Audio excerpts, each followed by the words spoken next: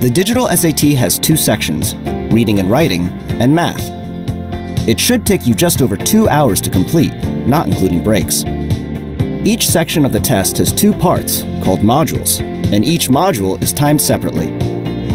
You can move back and forth between questions in a module and review your answers until time expires. There will be a break between sections. During the test, you'll have access to a set of tools. On all math questions, you'll find a reference sheet and a calculator. You can also bring an approved calculator.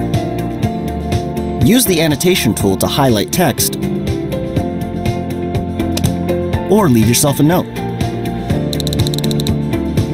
On multiple choice questions, if you think an answer option is wrong, you can cross it out.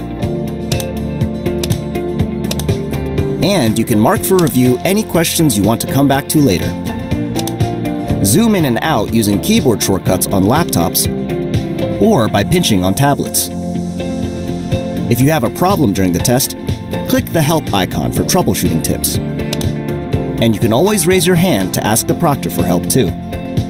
When the test is over, your answers will be submitted automatically. Wait until you see the Congratulations screen to close your device. We're excited for you to take the digital SAT